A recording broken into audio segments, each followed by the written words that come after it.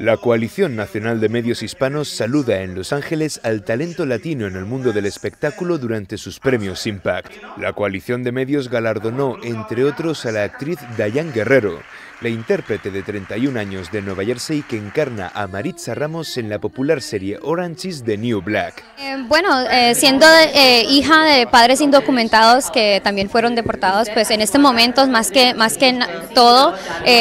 viendo el, el, sistema migratorio en este país que está tan frágil,